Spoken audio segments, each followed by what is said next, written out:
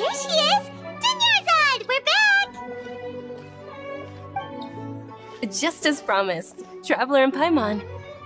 I'm so glad that you two came back to celebrate Lesser Lord Kusanali's birthday. Indeed. The festival's tomorrow. We've been preparing for so long that I can't help but feel a little nervous. There's no need to be nervous. Paimon's sure that Lesser Lord Kusanali will feel everyone's gratitude. Thanks, Paimon. I hope that everyone who comes to the festival will also have a good time.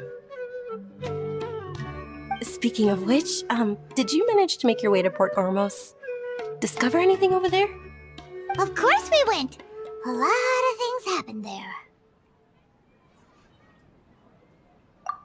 I see. Sounds like you two had another exciting adventure. If there is another chance, I would love to join. My lady, if you went to Port Ormos in your current state, we'd both be in for a lifetime of trouble. Dehya! You were eavesdropping! It's called covert protection. Keeping an ear out for what's going on around my employer is part of the job. Let's not act like we wasn't doing that just a moment ago, trying to get information and pretending to be students at a university that did not exist. It's alright, Dehya. I merely said I would like to go. I know better than to think my body could handle it. the festival's tomorrow. I've been doing nothing but causing trouble for you. So, Dehya, please take some time to relax. I'll be fine.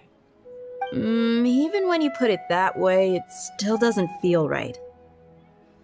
Don't worry, my guardian knight. okay, fine, but only tonight. Tomorrow's a big day, and many no good scumbags are gonna try to take advantage of that.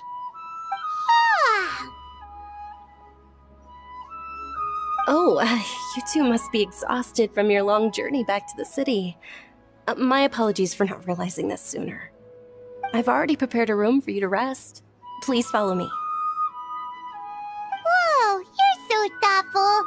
Paimon's so ready.